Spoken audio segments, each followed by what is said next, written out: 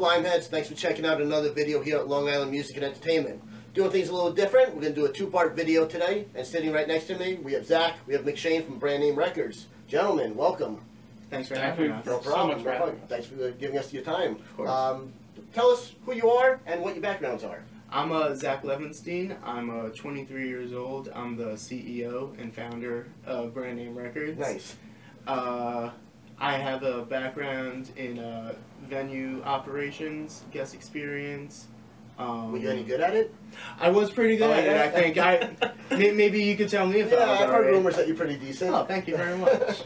um, yeah, no, that's that's pretty much me. And then- Okay. I'm Mike McShane. I have a background mostly in accounting and bookkeeping, as well as like many facets of live events, including guest services, just like Zach. Nice. Yeah. All right. Now, how did the two of you meet? Uh, yeah, no, we met uh, about five years ago, Mhm. uh, working together at the then Nikon uh, Jones Beach Theater, now Northwell Health at Jones Of Beach course. Theater. Uh, I was actually Mike's intern, my fr- uh, my second year. Yeah, was my second year there. yeah. Uh, first year he was on the guest services team, and I was working in the operations department. Okay. So he was your intern. yeah, basically. I was, I Was was he good at getting you coffee in the mornings? Stellar. Stellar. Okay. No, just stellar. Thank you. Yeah. I appreciate it. Mm. All right.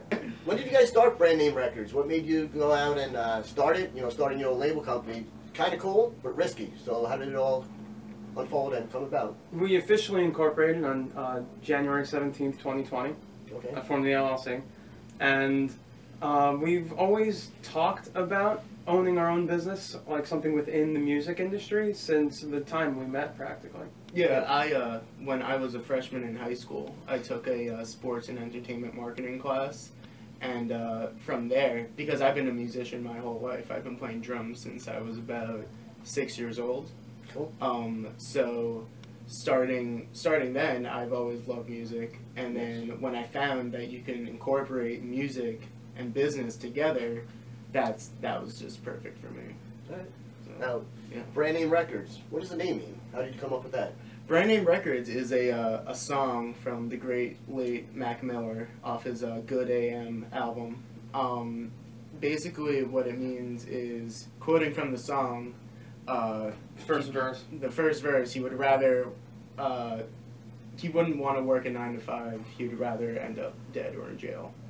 and honestly, that's something I've been saying my whole life. Like I, I've always wanted to do something like this. It's a mood. it is honestly. It's such a mood. Um, no, he's just the lyrics in the song just really speak to how um, you don't need to be affiliated with a brand name, and that like handmade is just as good, Okay. and that's basically what we're trying to do here. Nice. Yeah. Now, um, where where are you guys based, and what other markets are you trying to break into? I'm uh, I'm from Roslyn in Long Island, uh, but I live in Queens now, and I'm from Hicksville, still living there. yeah. So both um, you guys representing the five one six. Give it up Mhm. for the five one Five one six. six. Actually, uh, everyone that we're working with is actually from Long Island and Nassau County, which Well, is that's- awesome. That's a good thing because here at Lime, Long Island Music and Entertainment, we like to promote just Long Island artists. So Absolutely. if you guys were upstate or Connecticut, we would be sitting here No, right no now. go. No, that's a no go. That's a no go. What are your long term goals for the company? Long term, I'm I'm thinking the sky's the limit. Honestly, uh, I look up to companies like Dreamville and uh, TDE, OVO, Young Money. These are all uh, independent labels that over time grew together as a community and partnered with uh, major labels to get all the connections they need and to get the platform that they need. Awesome. So that's that's really my goal with this. Right. And some details as well. I think signing two to three artists every year over the next four to five years Yeah. is something that Yeah, we that'd can be, have. that'd be a great I goal think it's for us. possible. Absolutely, absolutely. Have you looked into, you know, more artists already? Yeah, absolutely. Um, we're looking at artists all over. Um, we're definitely trying to break into uh, Philadelphia. We're trying to get into Denver, LA. We actually have uh, someone Long term. Yeah. Long term. Uh, we have someone on our team actually moving to LA, so pretty soon we'll be on both coasts, which Cool. would be pretty awesome. That brings me to my next question. absolutely. um, are there any other people on your team besides the two of you? Absolutely, yeah. So right now it's me uh, and Mike. We have our friend Ryan, uh, who deals a lot with our radio and promotion. Uh, we have my brother Josh, who's actually filming this interview right now. What's up, Josh? So behind the camera thank back you, there? Josh. Um, yeah, no, we're we're a homegrown team. Uh, we uh, our production team, uh, Altered Reality Sounds. Um, they mainly handle the production, the beats, uh, the mixing, and the mastering for for the artists that we work with. Cool. Yeah. So, one of your artists that we're gonna be sitting with after you guys, Id Egos. How Mm-hmm. do you how did you come up with them? How did you find them? Did they find you? Absolutely, that's a very interesting story. Yeah. It's a Um, lot of uh, word of mouth, shaking hands. A lot of word of mouth, shaking hands, a lot of Long Island geography, just knowing people. I like how you said Long Island geography Of on course. a Long Island website. You know. Of course, no, exactly, no, it's it's On crazy. Um, Sticking on brand. of course, no. Um, me and uh, Tom, who works uh, for ARS, um, we worked at the Westbury Theater together. Okay. um, he intro- he showed me uh, Id Egos just a couple MP3s, and I was like floored Yeah. about how just like great were they were, the sound that they had, uh, their style. Yeah, you talk about undiscovered talent. Yeah, You hear, and everybody is a rapper. Everybody has a uh, their own beats and things that they make on the side. So you Mhm. hear these things, and you're like, okay, yeah, I'll check it out. And uh, we were floored by Yeah, Tom and absolutely. Jimmy's beats. Well, looking and forward to sitting with those yeah, and guys. know, It in a little Egos, while. they're- Yeah, no, absolutely. So more more connections. I've known Connor, incidentally, for about six years already. Uh, we met at a Global Citizen concert Okay. back back in high school, um, and Ryan knows all those guys uh, in ARS because they all went to Five Towns together. Okay. Mike knows Ryan from Incidentally, from work- another venue working at a different at. venue. So you guys knew each other before you knew each other. Yeah, really, Exactly. yeah, before, yeah, no, before we knew that we were all involved in uh, on the ground floor of certain areas of his business, Exactly. we just Yeah. met by happenstance. so we, we were really doing the same things, uh, just two different aspects of it, and Right. we really just combined everything just to make one cohesive unit. You know? All right. Yeah. Anything else you want to tell us about Brand Name Records? Oh, uh, hmm online, social media. Where can we find you guys? Absolutely. You can find us at Brand Name Records on Facebook, Instagram.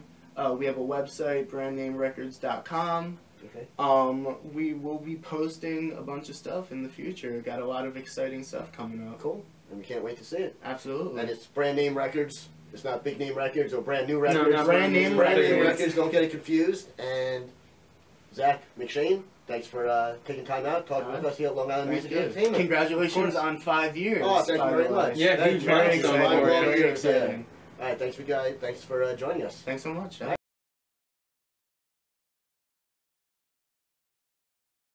What's up, Limeheads? Welcome back to part two of the video. Part one, we had the guys behind the scenes. Now we have the guys on the scenes. The guy that the guys that make the magic happens. We have Alex. We have Connor. Inigo. What's going on, guys? How you doing, Limeheads? there you go. All right. So, how did the two of you meet? Uh, we actually met at college. Um, we were, you know, just like finding our bearings. It was the first couple of weeks. This was my second time back in college. It was his first time. Yeah. So we were able to help each other and like guide each other through the process. Yes. I was the one film kid hanging out with all the music kids. Yeah. kind of meshed well that way. Yeah. Now, how long have you guys known each other? About five years. We met uh, freshman year of college, 2015. 2015. Wow. I remember you were rapping for a long time, and I didn't want to tell anybody I was doing it because I was like still kind of getting into my groove freshman year. And I remember he like heard me like just goof around, and he said, like, this is no, I told him I was like, "Yo, you to rap." Like he was just So- freestyling. Like when he freestyles, like he doesn't put words to it. It's more of like it's more necessarily like flows, kind of like Tech N9ne does, where he has like a little dictaphone and he just like spits flows into it, and like he just hears that. afterwards. And I was like, "Yo, like if you just went back and listened to it and like you put words into that, he'd be where he So is I've now." been doing that for a while. On the record, how is Alex as a rapper? Is he any good? Amazing. I mean, Amazing. he's my whole inspiration. Just You wouldn't be sitting here if he wasn't an amazing Exactly. rapper, Yeah, right? he's the reason I'm sitting right here. so, how long have you guys been doing music? Um, I've been doing music my whole life. I started when I was about five. Um, but I started taking like rap and hip hop seriously about eight years ago, almost nine years ago. Any influences during that time? Um, definitely, uh, my big, my four biggest are Lil Wayne, Eminem, Tech N9ne, and Drake. Okay. So those are like who have helped me find myself personally. Who are your influences? So, I mean, I kind of grew up not really on rap. I was on like more pop punk, rebellious kind of music, and like I was totally in a different world. And then when I came to college, I met all these like new kinds of people, and it totally just switched my mood Okay. for music. And I started getting into Mac Miller, and I think he's the goat to this day. Rest in peace of a legend. I But, mean, we, we just had Yeah. Zach and uh, McShane on, and he said Mac Miller's big influence of why you guys are here. So that's pretty exactly. It's yeah. crazy that Mac Miller is literally the reason why we're all here right now. Right. Because Yeah. me and him actually, I actually didn't like Mac Miller growing up, but then he showed me Good AM, Yeah. and like we were bumping in his car, and like that's what made us become such good friends. And then when Zach hit us up, we saw Brand Name Records, and I instantly realized it was a Mac Miller reference. So I was like, oh, I'm definitely gonna hear what this guy had to say. Now, how has music impl- impacted or influenced your lives growing up? Um, so my mom actually almost signed to Motown when she was in Oh, college. yeah, she was she was singing in Syracuse at like a bar, and like she decided to get her legal degree and like become a lawyer and have a family and like maybe pursue music after. So like she never had that chance. So I feel like it's like my job to get it on. there. Yeah, That's right, exactly. You want to add on to that? Um, I mean, it definitely just like depending on what mood I was in, I wanted to go towards that music. So I mean, before I got my heart broken, I was listening to rebellious music, thinking I, you know, own the world. Got my heart broke, and trap became like yeah. mood. I don't know. No. How was how was your lives growing up? Uh, where did you, where did you guys grow up? Uh, I'm from Limerick originally.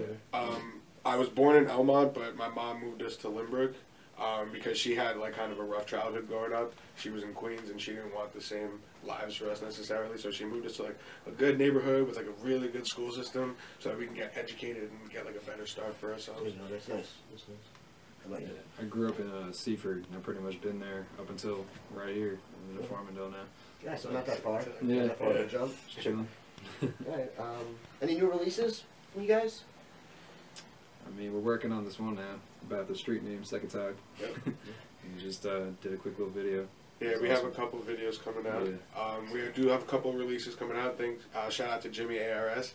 He's the one who really he's like the glue that holds us together. So we've been working on putting out like uh, like setting up our next six months, like our schedule, so we could like plan out our releases, get like the promos and everything. Right. So Connor's got one coming out next month called Uh, radio phone. Radio Phone. It's coming soon. So you guys are acting fast. I mean, you're Yeah. new to the scene and uh, videos, releases. Yeah. All Well, we actually work. started August first for Yeah. real, and it's been about six months, six and a half months, and we got like fifty-five Just been songs. grinding as hard as we can. songs. Yeah. Yeah. damn. So Just working hard. All right. Um, what are your songs about? You, know, you don't have to go over over the all place, 55, you know, Yeah. two or three, you know, what, what's the major theme behind your songs? You Um, so we we're called ARS, which is Altered Reality Sounds. So we like to kind of we say like we we make each song its own little universe. Like it's got its own little homeostasis. So each song is completely different than the next song. You know, Yeah. so like That's we try to, like, and like we both Like have, we both have backgrounds acting before we started doing music. So like Yeah. we put on different characters, we put on like whole different scenarios. Like it's crazy. Like Right. you should definitely We check definitely it out. want to turn it into something visual at some point. Something Yeah. where we could combine, you know, film and music and all of our talents and mesh together Yeah. and make something unique and different that Yeah. stands out. Now, your name, Id Egos, Yeah. what's that all about and how do you represent that? Um, well, it started with Connor actually. Yeah, I had an album coming out just on my own after making stuff on my phone all the time. I wanted to just put all the tracks together and call it Egos, different versions of myself. And he had like 20 songs. A bunch, yeah. And I had like 20 songs set too, so we were like, yo, what if we did like a joint album and we can call it id and egos, like Sigmund Freud said, like the subconscious and the conscious mind. And then we, we were just going to do a joint album at the time. And then Jimmy came into it and he's like, yo, what if you guys did like a group? And like you just made it like a whole brand, like id egos, you know? So I was just born right there. literally Yeah. just, it just exploded from nothing. So It's it- crazy. Beautiful thing we've Just been working created and it's as hard as stuck. we can. Yeah. yeah. Shout out to Sigmund Freud. Fake tears dripping through the past life, rapping in the Morse code, flying up the half pipe. I never figure out if I'm bound to scrap right. Searching for the difference, why we say it's alright. I can smell a hypocrite like they smoke.